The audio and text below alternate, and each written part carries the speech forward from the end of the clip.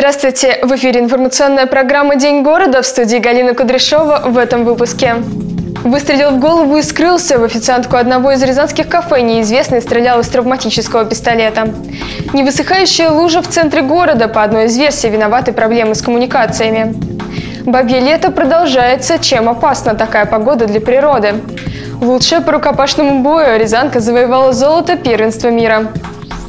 Лужа в центре города не высыхает. Во дворе дома номер 41 на улице Первомайской постоянно стоит вода. По словам местных жителей, виноваты проблемы с коммуникациями. Подробности в сюжете Дины Исляевой. Эта лужа что-то вроде местной достопримечательности. Она не высыхает даже летом в жаркую погоду. А людям доставляют массу неудобств. Неудобно парковаться и невозможно пройти к домам. В подвалах периодически стоит сырость. Пройти к подъезду можно разве что в резиновых сапогах. С виду и не скажешь, что это самый центр города. Двор 41-го дома на Первомайском проспекте больше напоминает болото. А сейчас вот нет воды, идут тут в обход. А когда вода, вот дождик или чего, да, да, да, вот тут так. Я еще думал про это. Вот Господи, говорю, ну когда-нибудь тут хоть что сделать, чтобы идти э, по напрямую-то. Почтальон Инна вынуждена пробираться к соседним домам через грязь, чтобы доставить письмо или газету. Ну, неудобно, конечно. Приходится обходить. Не очень-то бы хотелось. Ну, хотелось, чтобы тут все было так чисто, аккуратно. А тут всегда такая вот стоит вот это вот грязючина. Сейчас лужа диаметром 15 метров. По словам местных жителей, вода здесь стоит из-за проблем с теплосетью. Они уже обращались во все возможные инстанции, но проблема так и не решилась. Дина Исляева, Игорь Глотов, телекомпания «Город». Выстрелил в голову и скрылся. В официантку одного из рязанских кафе неизвестный стрелял из травматического пистолета. Орудие нашли на месте происшествия вместе с шестью гильзами от патронов. В ситуации разбирался Валерий Седов. Поступил сигнал тревога. Дежурная группа на выезд по адресу. На пульт дежурного отдела вневедомственной охраны по городу Рязани вызов поступил днем 10 октября. На каждое сообщение сотрудники реагируют оперативно. Их обмундирование – это бронежилет, защитный шлем и табельное оружие. Дежурной бригаде сообщают только специальный код, три цифры, которые не разглашаются. Каждая такая комбинация обозначает ситуацию, с которой предстоит столкнуться сотрудникам отдела вневедомственной охраны.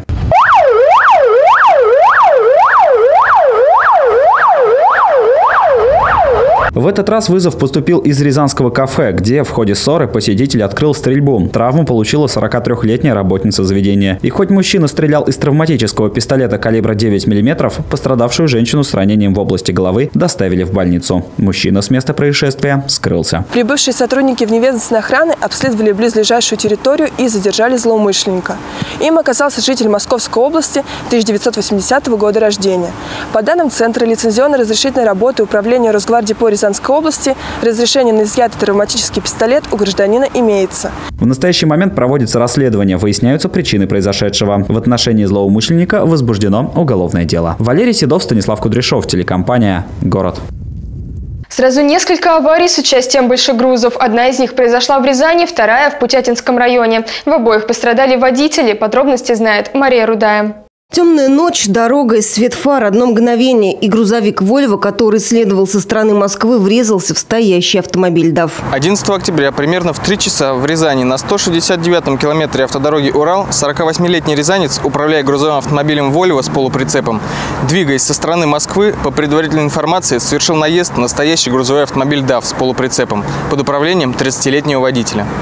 Результате происшествия водитель «Вольво» получил травмы и был доставлен в медицинское учреждение. Еще одно дорожно-транспортное происшествие с участием большегрузов произошло 10 октября в Путятинском районе. 45-летний житель Ростовской области, управляя грузовым автомобилем Hyundai, двигаясь в сторону Москвы, по предварительной информации не выбрал безопасную скорость движения, вследствие чего совершил столкновение с остановившимся перед пешеходным переходом грузовым автомобилем «Рено» под управлением 29-летнего жителя Ульяновской области. Вообще, статистика административных нарушений на дорогах за прошедшие 9 месяцев этого года довольно печальна. Цифра превысила 1 миллион случаев, а между тем, по словам сотрудников госавтоинспекции, именно нарушение правил часто становится причиной аварий. Наиболее распространенной причиной ДТП является грубое нарушение правил дорожного движения. Это такие нарушения, как выезд на полосу встречного движения, превышение скорости, а, проезд на запрещающий сигнал светофора, несоблюдение очередности проезда, а также несоблюдение безопасной дистанции.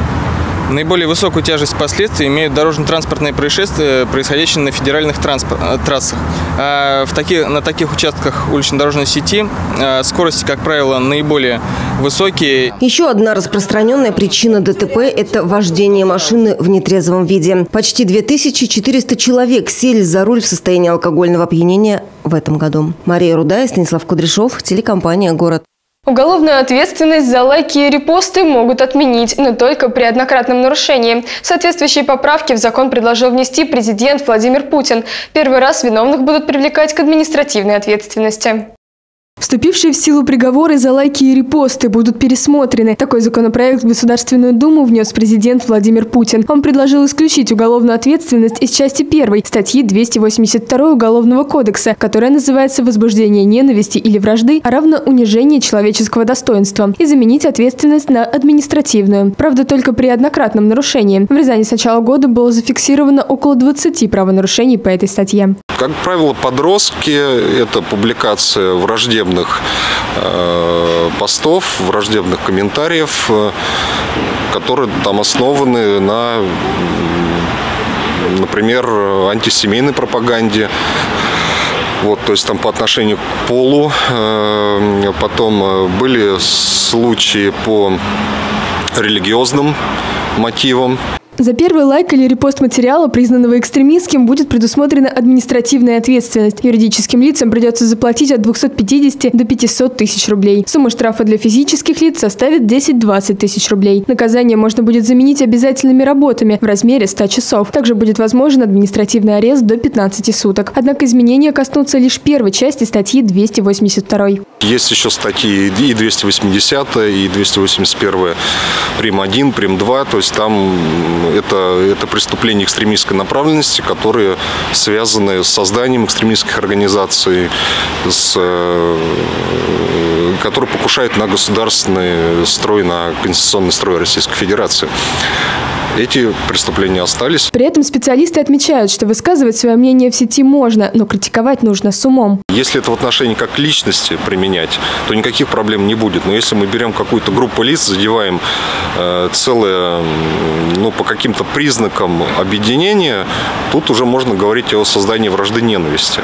Надо формировать более лай лайтовый, дружелюбный контент.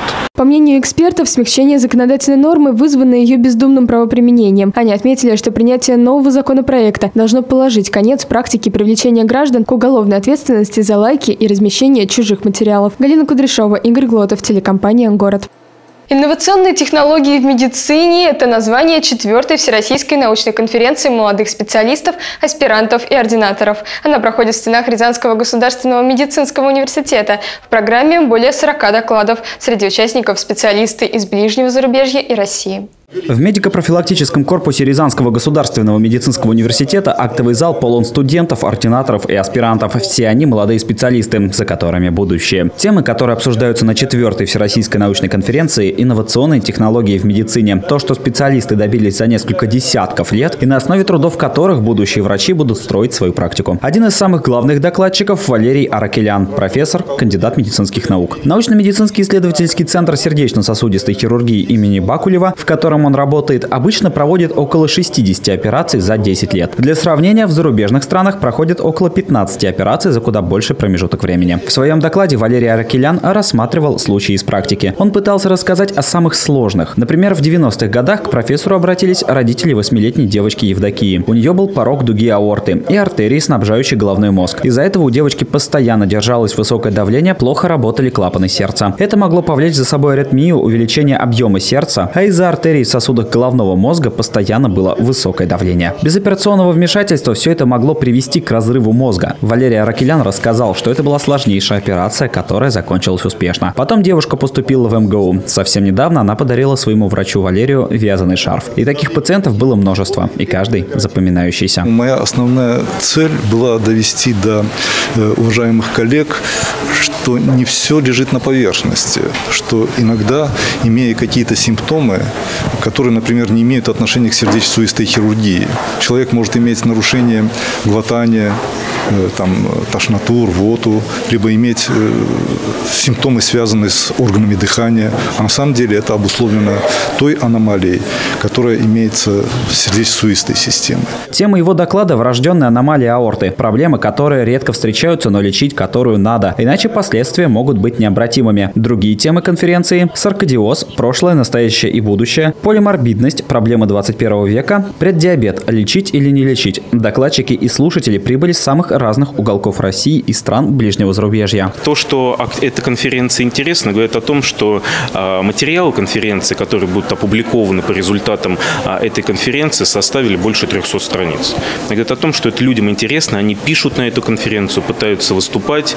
А, то количество докладов, которые прислали, тоже достаточно большое. Это говорит о том, что людям интересно. Такие конференции стали уже традиционными. Они не обходятся и без помощи студенческого научного общества. В нем состоят ребята, которые также заинтересованы в проведении конференций и ценности их для остальных учащихся. Всегда приезжают много разных преподавателей из разных городов с очень интересными докладами, а, в которых можно узнать много для себя нового, новые стандарты в медицине, новые подходы к лечению различных заболеваний. Четвертая Всероссийская научная конференция молодых специалистов продлится два дня. В программе как доклады, так и мастер-классы и дебаты. Валерий Седов, Станислав Кудряшов, телекомпания «Город». Движение по улице Краснорядская ограничат до лета следующего года. Это связано с реконструкцией торговых рядов. Она начнется 1 ноября. Работу планируют завершить к 1 августа. На время их проведения парковка по адресу улица Краснорядская, 2 будет закрыта, а пешеходный переход перенесен. А вот ремонт Солочинского моста планируют завершить уже к следующей неделе. Об этом сообщил министр транспорта и автомобильных дорог Рязанской области Андрей Савичев. По его словам, подрядные организации сработали достойно, немного опережая запланированный график. Рабочим осталось выполнить финальные работы. Нанести разметку, установить делиниаторы, убрать строительные все отходы.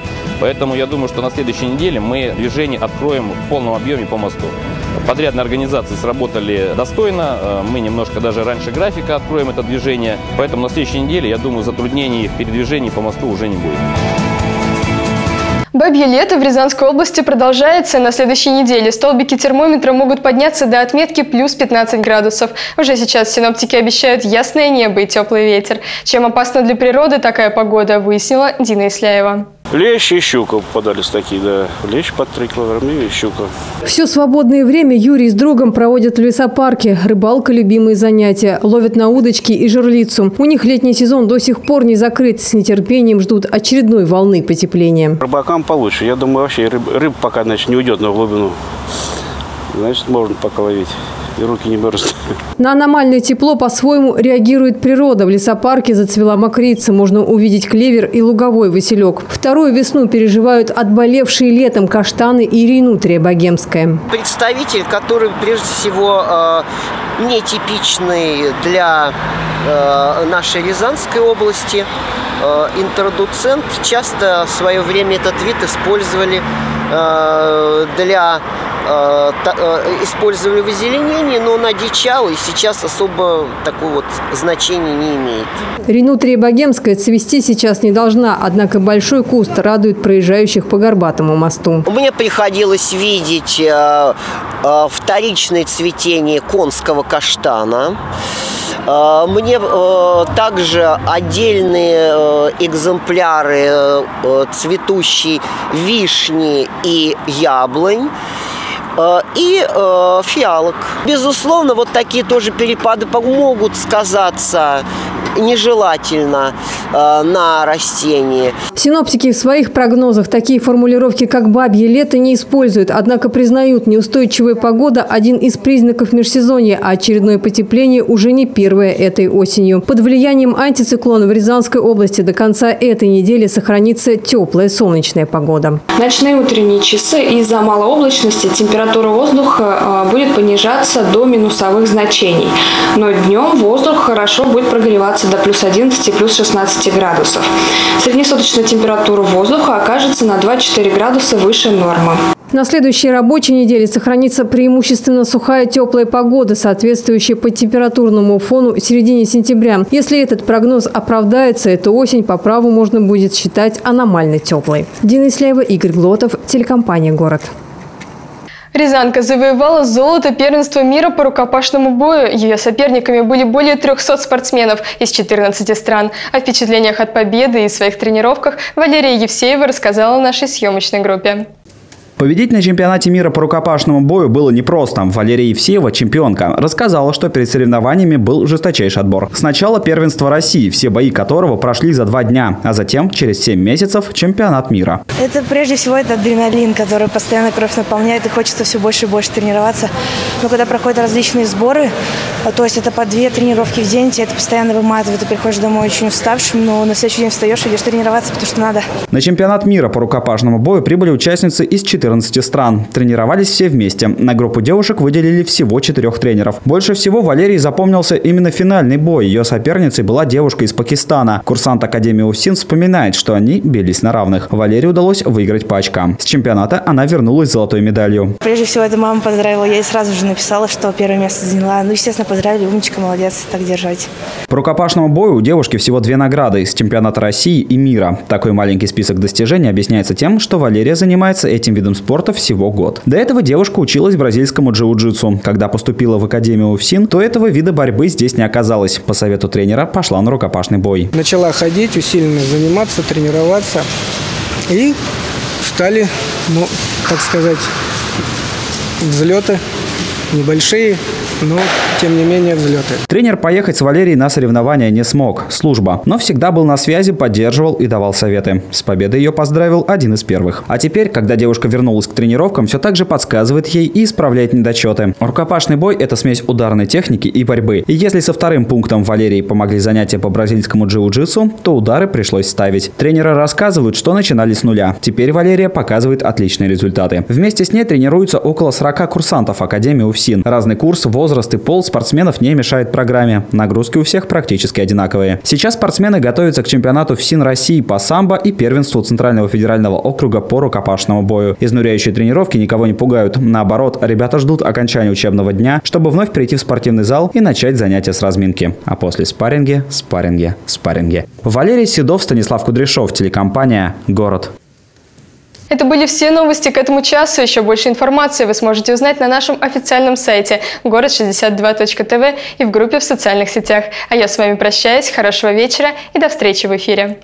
Мама спит, она устала, в пробках два часа стояла. До работы далеко, добираться нелегко. Каждый день ее я жду, грустно мне бывает Потому что мамочки мне очень не хватает. А папа наш пришел с букетом и сказал нам по секрету. Будет времени в запас, переезжаем в Еврокласс. Это в центре, здесь все рядом, всей семьей мы очень рады. Хочешь стать одним из нас? Заселяйся в Еврокласс Строительная компания «Зеленый сад».